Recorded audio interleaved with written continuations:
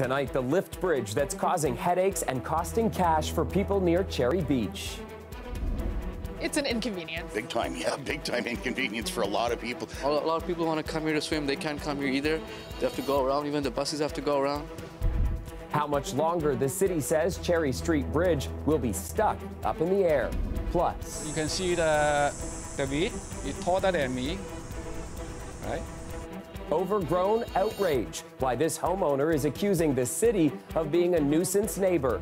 And Thank you for making it rain night after night. a rousing welcome home for a Blue Jays All Star. Josh Donaldson returns to the Rogers Center. Good evening, I'm Chris Glover. A malfunctioning lift bridge has been frustrating people near Cherry Beach for nearly a month now, and tonight we're finally getting a clear picture of when the problem will lift and just how much it's costing people. Kelda Yuen joins us live now from Cherry Street Bridge. Kelda, when exactly will that bridge be usable again? Well, Chris, an official update is expected tomorrow, but a city official did tell me tonight that it will likely be another two weeks before that bridge behind me can come back down. Many people, though, are of course hoping it will be much sooner than that. It's a sight those close to the Portlands have had to get used to. It's been up a long time. You'd think they'd have it down by now. But almost a month after a mechanical failure caused the bridge to be stuck that way, the problem still hasn't been fixed. The bridge over the Keating Channel is one of the only access points to the Portlands. With it being out of commission, access has been limited to Carlaw Avenue and Leslie Street. For many pedestrians, cyclists, and those on scooters, it's more than a little frustrating. It's hard because um, without this, I have to take the, the, the 121 bus, and it's on diversion. So it throws the schedule all off. It's been bothering me a lot. Uh, it's my regular bike path, so I have to go around.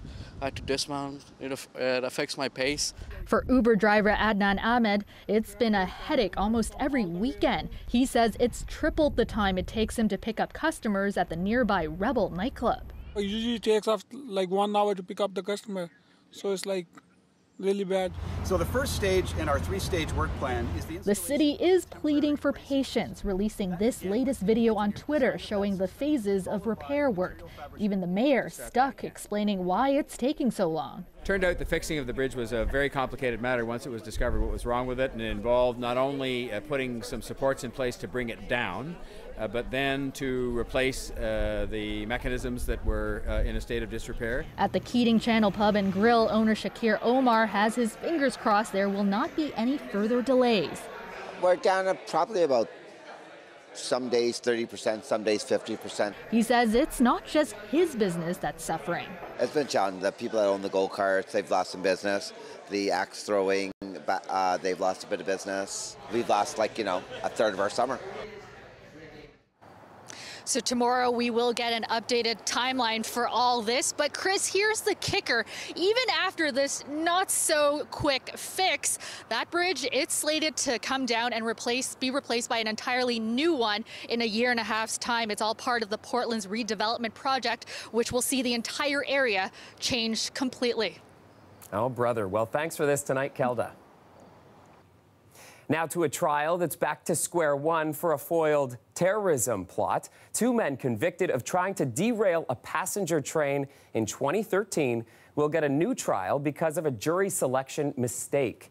The convictions of Raed Jaser and Chiheb Esseghaier were set aside today. Police claimed the men had watched trains and railways in the GTA. And in 2015, the pair were found guilty of eight terror related charges. Earlier this year, they appealed, arguing the jury was improperly selected. And with today's decision, they can be released from prison while they wait for a new trial.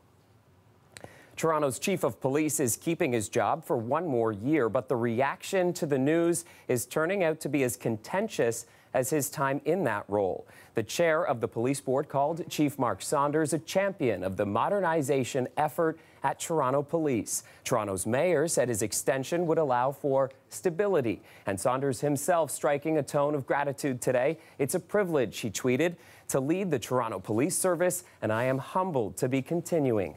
But one of Saunders' biggest critics is not mincing words. We were surprised that, uh, given that our morale is at the lowest that it's been um, in decades, um, we have a staffing crisis within the Toronto Police Service. We also are experiencing the highest incidence of gun crime that we've ever experienced in the City of Toronto. Last year, Toronto dealt with a record number of homicides, and this summer, there's been an escalation in gang turf wars. The chief is extended until 2021, at which point it's expected he'll be replaced with someone new. Next to a park in Toronto that's the center of a national political feud today.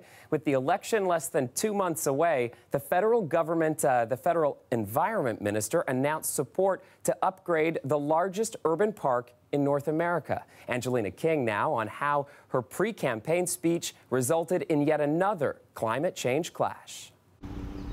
Right now, this space is an overflow parking lot for the Toronto Zoo, but in three years, it'll be transformed into a welcome and learning center at Rouge National Urban Park. It's critically important, and nature needs our help. And in less than a month, there'll be a new five kilometer trail and two visitor areas. Toronto's mayor says it'll benefit those living in high rise buildings. And it is so important to their health and well being that there's a place where they can go to experience nature. Ottawa is spending $20 million on the centre, money already budgeted for. Catherine McKenna made the announcement while pushing her message. Climate change is an economic issue. Climate change is a health issue. She also announced a rebate program specifically for Ontario.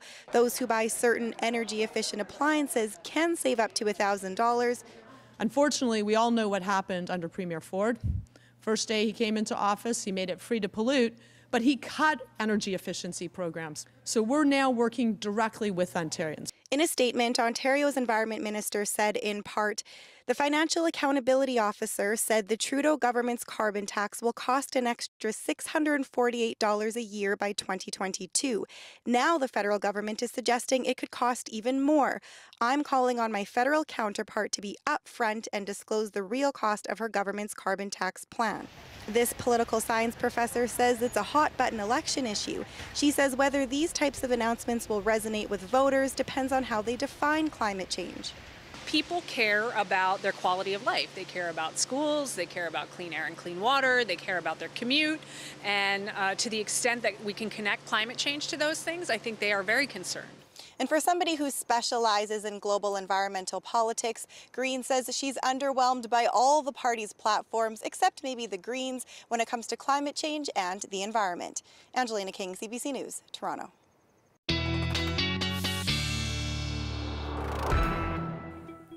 Time now for a first look at your weather forecast with Colette Kennedy. And Colette, you promised us today would be a rainy day, and boy, did the skies deliver. Yeah, I don't always like to promise things like that, but hey, you're right. That it was, was good forecast. for the plants, right? There you go. It's Yeah. good for it's good for something. And you know what? The thing is, it's kind of a one-day event, and then there's a few little spots that we may see a little precipitation coming back, but primarily after today, we get into another really nice pattern. So our average low at this time of year, 12.9 degrees, record low 6.1. Tonight we're headed towards 17. We'll kind of see a range 16 to 18 around the GTA, but 17 for the city in terms of what we're talking about. And there's just a little bit of residual instability here. So a few really spotty showers. Primarily, this is moving off towards the east, and we get into a clearing trend. So although overnight a little patchy fog is possible, by tomorrow morning we're into a nice pattern. So starting off with some sunshine in here, sunshine into the afternoon hours as well. Now I'll just, this is where I say there's a few little areas with some spotty that risk of precipitation, and that would be late tomorrow afternoon into tomorrow evening. We could see some isolated showers just kind of popping up. It's not going to be very widespread. Then we get into a nice day again on Thursday, and then it's going to be Thursday overnight. We may see, this isn't all going to hold together, but we may see a few showers through the overnight hours. So our daytimes are pretty good here. Overnight tonight, though, everything kind of moving out, 17 for the overnight low, and then tomorrow 25, still a little breezy with those winds coming in from the southwest, but not too bad. And we'll take a look at what the temperatures look like coming up in the next few days a little later in the show. Chris, All right, sounds good. Thanks, Colette. you're welcome. This North York homeowner is pleading with the city to stop being such an awful neighbor and cut the grass already. That story is coming up.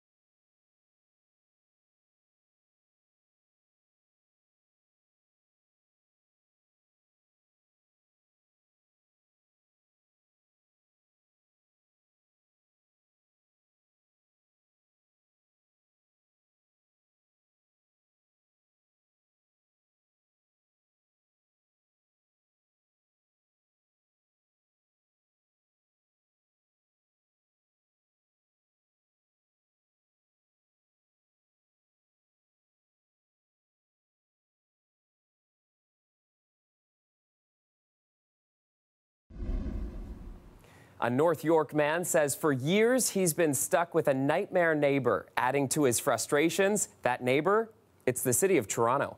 Here's Shannon Martin with one man's accusations of hypocrisy on high. It's very terrible, like a nightmare. I'm tired and I'm frustrated. The, the grass is so ugly. The grass was taller than you. Yes, correct. Very tall. Hao Chan Wu says the trouble started back in 2017 when the city acquired an empty lot next door. Soon the grass towered over Wu himself. He started snapping photos and sending emails and calling 311. Welcome to 311 Toronto. He even put up this sign urging his neighbors to complain. You can see the, the weed is taller than me, right? Maybe a one, uh, 1.8 meter. Wu says a crew eventually arrived, mowing the lawn three times in 2017. Last year it was done twice. So far this year, just once, and that was last week. The city actually has a long grass and weeds policy. Homeowners are expected to keep their grass less than 20 centimeters or 8 inches. Otherwise, they could end up with a fine. For this own property, who can give it? The city, the fine and the ticket, right? Right. So the city can fine us regular people Yeah, for yeah. not maintaining our grass, mm-hmm. but who's going to ticket the city? Yes, that's the, makes sense, right? A spokesperson for the city's transportation department told CBC Toronto in an email the land was acquired to facilitate improvements to the North York Centre South Service Road. There's no equipment here or anything. No. Like, you wonder what they're doing with the land. No. And he's never seen any city workers on site, except when he's called to complain about the weeds. He just wants the city to care for its property the same way he takes care of his. Keep nice, right? We are the, the whole area. We are nice. And Shannon joins us now. So, Shannon, we heard Wu there calling for his neighbors to help. Yes. Did that happen? Yes, for sure. So we talked to another neighbor on the street. He's been calling 311. He's been sending emails for the past couple of years. Again, they say they're not trying to be a pain. They just say, we like our neighborhood. It's a nice neighborhood. Let's all take care of it. Mm. And how about the transportation department? Because I know you were trying to reach out to them as well. Right. So basically, all they told us is that yes, the transportation department does own the property, but when we tried to ask follow up questions like, what's the budget for maintaining lots like these, or has a private contractor been hired to do it, but maybe they're not keeping up? We didn't get any response on that end. But the city councilor for the area, John Filion, has a theory. He thinks the city bought the property, but then has lost track of it altogether, and that's why it's not being maintained. Either way, for Wu, for his neighbors, they just want it taken care of. They're going to mm-hmm. keep up their campaign and try to get it done. Interesting to see where this goes. Yes, for sure. Thanks, Shannon. You're welcome. All right, former Blue Jay Josh Donaldson is living up to his Bringer of Rain nickname today. The former Jays third baseman is back in town for the first time since being traded. How he's feeling being back in Toronto is coming up.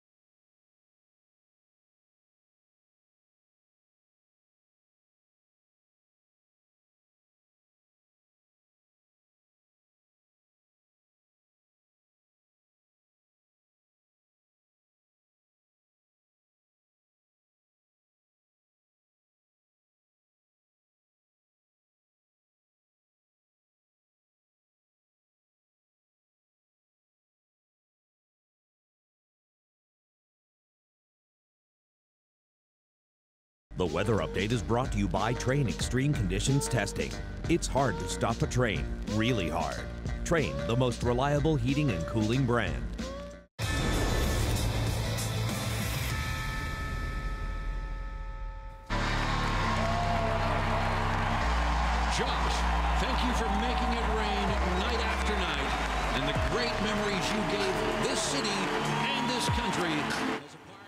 Was known as the bringer of rain during his time in Toronto, so it's only fitting that it's a rainy day in the city as Josh Donaldson returns to the Rogers Center. So he brought the rain, but he couldn't bring a win. The Jays edged out the Atlanta Braves 3 to 1 tonight. It's the first time we're seeing Donaldson play at the Dome since he was traded by the Jays. Greg Ross now with a look back at his legacy and what Donaldson is saying about it now. It didn't take long for Josh Donaldson to make his mark with the Blue Jays.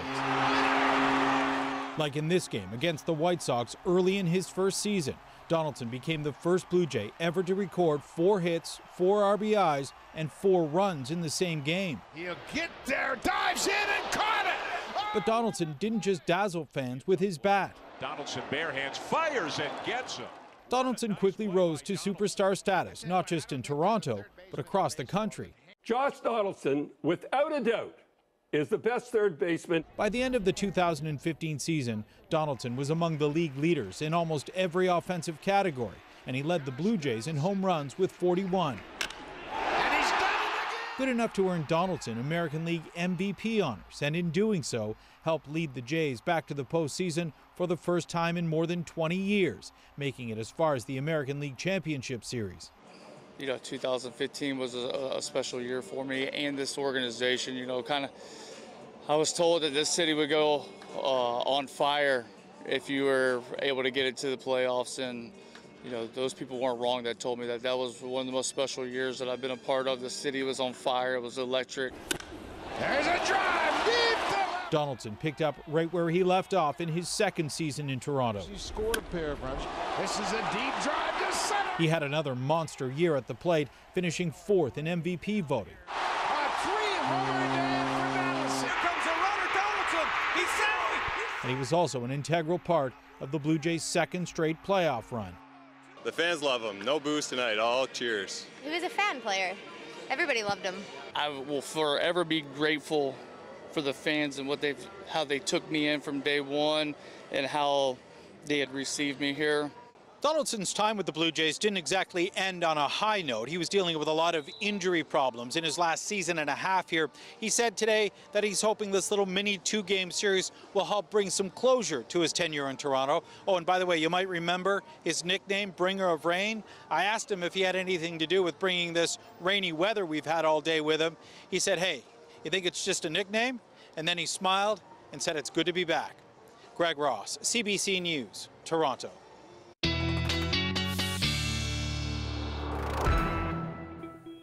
Let's get back to Colette now. And Colette, you said tomorrow is going to be a better day than today, right? Oh, yeah, it's looking pretty good, actually, Chris, in terms of our sky conditions. Lots of sunshine, just a slim chance for some showers uh, as we get into the evening hours, but we're not going to see much out of this. I think you're going to enjoy it. Uh, average high at this time of year, we'll be close to it. 24.4 is what it is. Average low tonight, we won't be close to that. We'll be a little on the mild side. It's close to just under 13 degrees. I want to show you those winds, of course, a little breezy at times in terms of what we experienced, but as we go into tomorrow, yeah, some of the gusts may be around 30 to 35 kilometers an hour, not too significant, and the sustained winds closer to 20. So, yes, there'll be a breeze coming out of the southwest. At times, you may notice it a little more if you're in the downtown core. You get between some of the buildings there into a bit of a wind tunnel, but it's not too bad as we're going to find them kind of easing off a little bit. So, the story beyond that is to look at what's happening with the system leaving us. So, we get into a clearing pattern overnight tonight. Still just a few little residual showers or a drizzle, but that's moving out by tomorrow morning. That's where we get into sunshine. That's why so much of the day looks really good, actually. And in many cases, you're going to find the whole day is good. And what I mean by that, it's only going to be in a few cases where we get an isolated shower, perhaps popping up late tomorrow afternoon into tomorrow evening. Then Thursday, again, spotty shower well to the north of the GTA. Otherwise, we're looking at a good deal of sunshine. And then it's going to be Thursday in the overnight hours, it looks like. And by the way, this is going to break up a little bit. It looks like the models are going to pull this apart as it continues to push southward. So we may have some stray showers coming through, but probably not as bad as it's looking at this point. Perhaps some heavier stuff, though, coming through southwestern Ontario, where it may hold together just a little bit better. Otherwise, overnight tonight, we're talking about 15 to 16 for our overnight lows. And then for you tomorrow, Windsor 26, becoming a mix of sun and cloud. And again, not too bad of a breeze, but a little bit there coming out of the southwest. Of course, we've been having some issues with the wind coming off the lake, so a little more southwesterly helps somewhat. Chatham Kent tomorrow 25 for your high. And back towards the GTA, 16 to 18 for our overnight lows. Any little showers left over, pushing out of here, setting up for sunshine tomorrow morning, and highs in the mid 20s. So, looking like a very nice day for you, midweek hump day to get through. It's late Wednesday, isolated shower possible. Thursday, overnight, Isolated shower possible, otherwise 25 through the day. Mix of sun and cloud Friday and 24 for the high. And it does cool down, it looks like a little bit into the weekend. So our highs into the low 20s. It's going to have a little bit of that fall feel to it in terms of those temperatures. Uh, but sky conditions looking pretty good. Slim chance of showers there, Chris.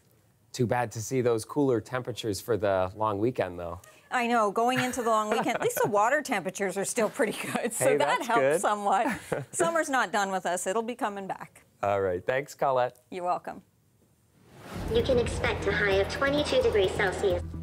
Look out, Colette. This guy tells the weather and it dances. It could also greet you at your next visit to the bank. More on HSBC's new robot after the break.